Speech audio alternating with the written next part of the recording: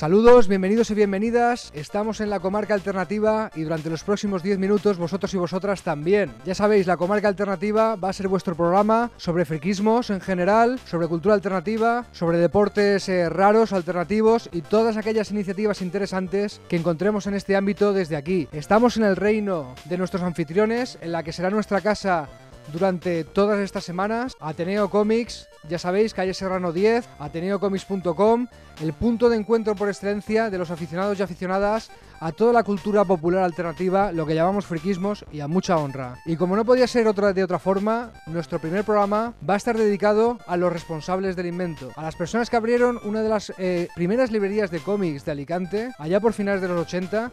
Vamos a conocer a las personas detrás de Ateneo. Y está con nosotros ya nuestro invitado de hoy. Vamos con él. Jesús.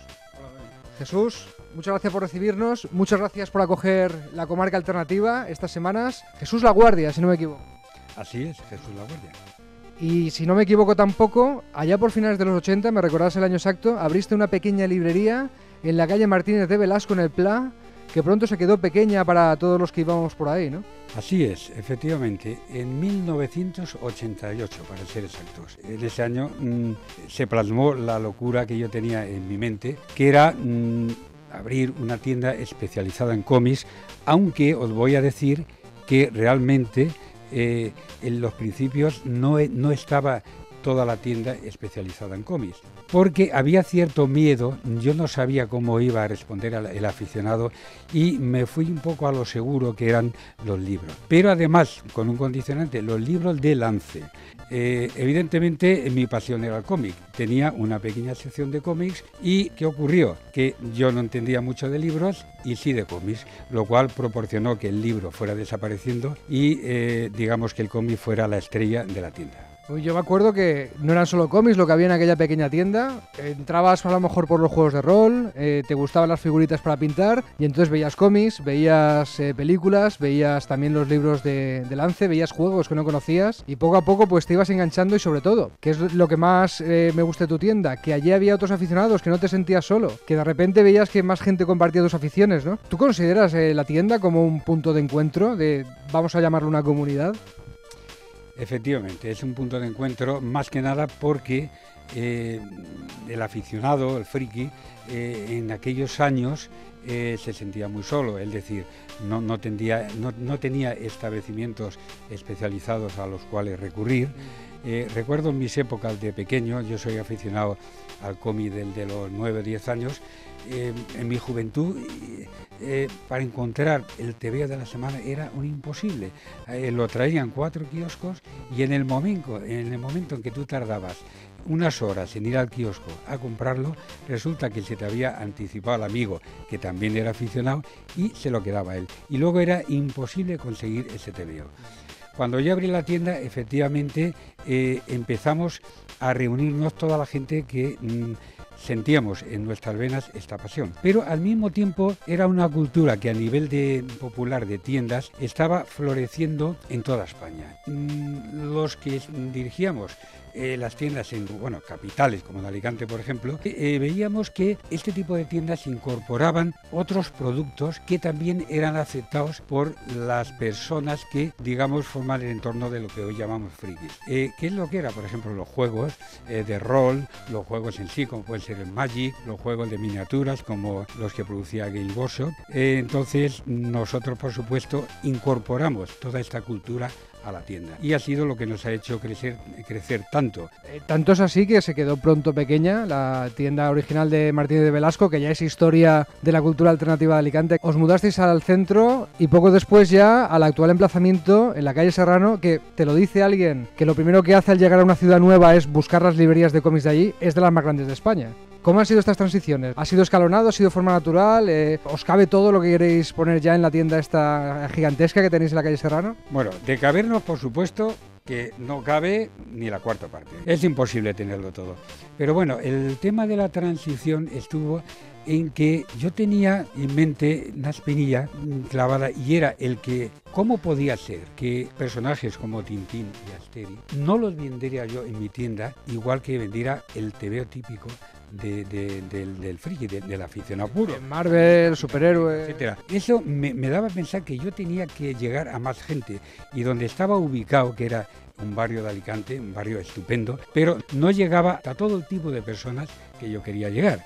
Entonces, esto me animó a dar el salto junto a, con, a la confianza que ya tenías de ver el resultado de que en un sitio alejado del centro de Alicante la tienda tuviera tanto éxito. Pues yo, como tú eres un testigo de, de excepción de todo lo, que ha sido el desarrollo de la cultura friki, que antes éramos esos niñatos imberbes que tú atendías y soportabas en el PLA, y ya hemos crecido, ahora tener- pasamos de la treintena a muchos, se han incorporado nuevas generaciones, y estamos en una época en la que el friquismo está casi socialmente aceptado. Todo el mundo sabe quién es Lobezno, y tú te acuerdas en los 80 que solamente los lectores de la Patrulla X sabíamos quién era Lobezno, y ahora Lobezno está en las carteleras de cine. Ha habido esta evolución de que hemos crecido, de que nuestra cultura ha dado el salto a la cultura en general. Y tú que has sido testigo de excepción estos años, yo te quiero preguntar por algunos momentos de esta pequeña historia nuestra, ¿no? O sea, cosas que han ido pasando. Eh, por ejemplo, cuando llegan los juegos de rol a España, que es casi cuando tú abres la tienda, más o menos, ¿no? Efectivamente, realmente estaba ya impregnada esta, esta, esta afición en gran cantidad de seguidores del de toda la vida. Por ejemplo, yo tengo aquí clientes que vienen aquí con ochenta y tantos años a comprar sus TVs antiguos. Esta gente siempre ha sido aficionado, friki de lo suyo. En todas las épocas ha habido gente aficionada, condicionada también por lo que se publicaba en aquella época. Peque- pequeños grupos, entonces, que... Exactamente, por ejemplo, siempre han estado los seguidores de la Marvel, que ahora los seguimos a través de los cómics de que está publicando Panini, antes los publicaba Planeta, pero ojo, mucho antes se publicaban esos superhéroes y se vendían mucho por la editorial Vértice, tan famosa, que destrozaba a veces las historias, pero bueno, era lo que había y realmente tiene un encanto que hoy en día hace que, que esos TVOs estén buscados. Pero, por ejemplo, cuando empiezan a llegar juegos eh, difíciles de conseguir, nos teníamos que ir a Barcelona con suerte o a Londres y de repente una pequeña tienda del plan empieza a traer pues juegos de rol, juegos de figuritas de la workshop, ¿no? Aquello es algo que tu público te pedía, tú notaste que, que se buscaba por aquí. Vamos a ver, este caso es muy curioso. Cuando abrí la tienda estuve en Barcelona y hice amistad con un personaje muy curioso que se llama Alejo Cuervo. El Papa Alejo, nada menos, Gigamés Comics, Barcelona, ¿no? Exactamente, así es. Que hoy es más papa que nunca, puesto que es el editor de los libros de Juego de Tronos. ¿eh? Pues entonces hice amistad con él. Eh, amistad tal que mm, charlábamos sobre cuando yo estaba en Barcelona, sobre los cómics, sobre los libros. Yo estaba alucinado porque él traía cosas de importación. Él vendía en inglés nada más. Para mí era un alucine.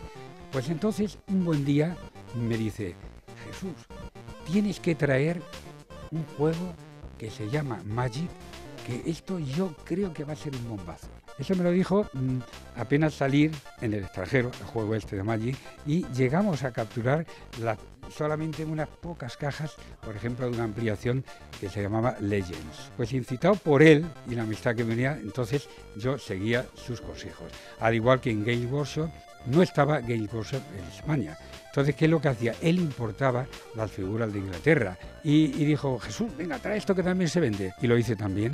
De esa manera, junto a los juegos de rol, por ejemplo, que eh, habían editoriales, eh, estupendas editoriales como Jockey International, que tuvieron la iniciativa de publicar los juegos de rol, pues enseguida apoyamos estas iniciativas y estaban aquí en Alicante para toda la, la cuadrilla de aficionados. Ya que estamos en esta parte de la tienda, yo te quería preguntar, porque en aquella época, principios de los 90, es cuando triunfa una serie que se llama Bola de Drag, Dragon Ball, es cuando llega una película que se llama Kira y se produce el boom del fenómeno manga en España, ¿no? Eh, estos pequeños tomitos imposibles de encontrar entonces, eran como las cartas de Magic antes de que las trajera Ateneo. Ya tenemos eh, fenómeno manga bien asentado en España.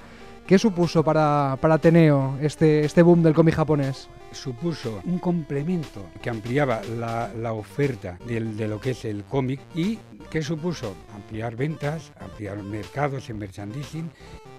Este personaje hay que hacerle un monumento, pero, pero un monumento, pero de esos de nada de piedra, sino de oro. ¿eh?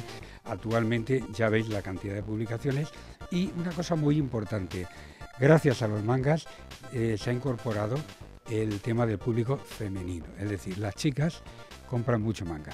Eh, Yo te quería preguntar por algún caso que recuerdes de, de que te hayan pedido algo muy raro o algo muy difícil de conseguir y hayáis peleado y hayáis dejado a un cliente satisfecho o simplemente que hayáis tenido que explicar pues qué es lo que vendíais aquí a gente que no lo entendía. ¿Te recuerdas algún caso especialmente curioso así? Casos, mm, hay muchos, eh, entra gente muy despistada, ¿eh? evidentemente, que, que tienes que explicarle todo. Y eh, al efecto de conseguir cosas, pues yo tuve un cliente mayor ya que buscaba una colección de, de antiguos, tenía mucha ilusión, era amigo cliente y te puedo decir estuve un año personalmente llamando a las tiendas, recordándoselo a, los amigos y al final le conseguimos esa colección. Eso es servicio de atención al cliente, amigos. Yo para despedirnos hay un capricho, un favor, un pequeño sueño que te quería pedir a ver si me puedes hacer, como, tantas cosas que, que me has conseguido, ¿no? A mí me gustaría ver el almacén de Ateneo, ¿no? Que lo tenemos casi como un, un dungeon secreto desconocido que algún día nos gustaría explorar a todos. ¿Es posible? Claro que es posible. Venga. Lo voy a llevar, pero ojo, no valen críticas, ¿eh? No vale decir, oye, esto lo tienen mal colocado, está hecho un desastre. Nada, ¿eh? Vamos. Vamos, vamos al almacén, vamos al almacén.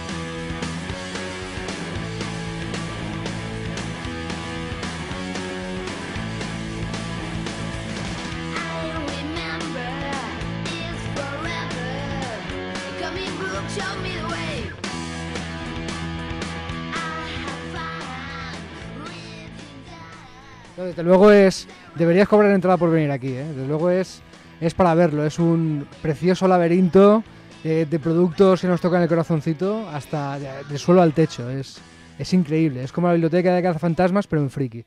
Pues Jesús, muchísimas gracias por, por acoger eh, la comarca alternativa, por ser el invitado de este primer programa, que esperemos que sea el primero de muchos. Y para acabar, vamos a pedirle a todos los invitados e invitadas del programa que nos recomienden un producto, algo que acabe de salir al mercado hace poco y que, lo y que nos digan por qué. De todos los productos que podemos encontrar en tiendas como Ateneo, ¿por qué escogen este? ¿Con qué te atreves? Yo recomendaría a nuestro amigo el incombustible Dark Water. ¿Por qué? Porque mm, ha habido vamos, continuamente sacan muñecos, pero fijaros las medidas que tiene y eh, fijaros también que es articulado. Pero lo más importante es que es una figura que está bastante bien hecha y el precio que tiene. ¿eh? Sale un precio, lo voy a decir, Eh, eh, eh, Eres comerciante, lo tienes que decir. chaval, 59,95. Sí, la, la verdad es que una- unas figuras así de Star Wars no, no suelen valer eso. Pues muchísimas gracias, don Jesús. Ya sabéis dónde estamos. La comarca alternativa está en Ateneo, calle Serrano 10, en, Alic- en el centro de Alicante, cerca de la estación. Sabéis que también están en ateneocomics.com y que nos vais a tener todas las semanas aquí, en vuestro programa, en la comarca alternativa.